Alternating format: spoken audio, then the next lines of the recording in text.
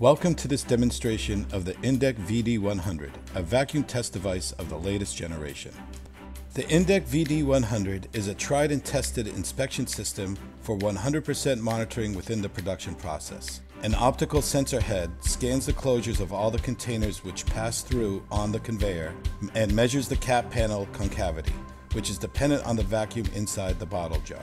The quality of the vacuum in the headspace of the container and the leak tightness of the closure can be assessed by comparing the measured data from the container under test with the data from the golden samples and containers without a vacuum which have been measured previously.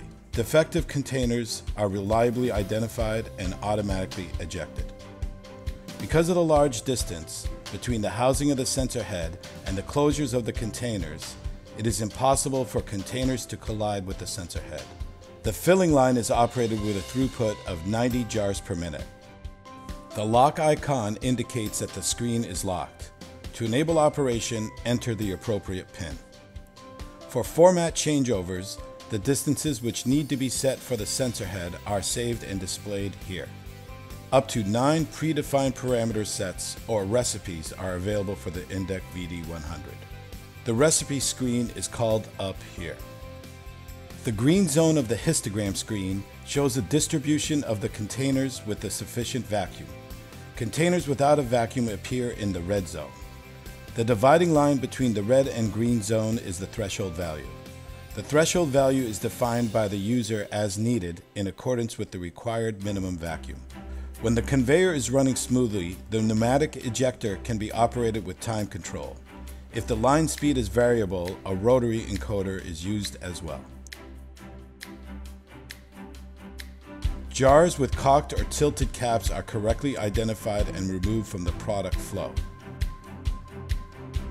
Drops of water on the closures do not affect vacuum testing. The containers are always detected correctly by the reflection light barrier, however they are spaced on the conveyor. The jar we have deliberately included to check for correct functioning is ejected as required. Even neighboring jars are reliably ejected without any adverse effect on the product flow. Jars with cocked or tilted caps, jars without caps, and jars without sufficient vacuum are reliably detected and separated from the rest. The red warning light indicates the presence of defective products. All the jars without sufficient vacuum have been marked with colored duct tape. Vibrations of the conveyor belt do not affect vacuum testing with Indec. Jars with and without a label on the closure can be tested here using the same parameter set.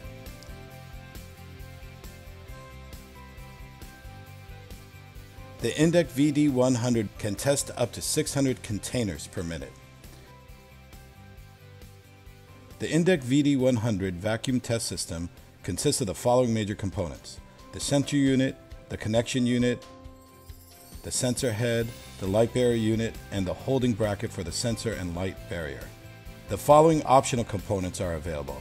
An ejector unit, a collection tray, a stand for the central unit, and a system synchronization option complete with rotary encoder.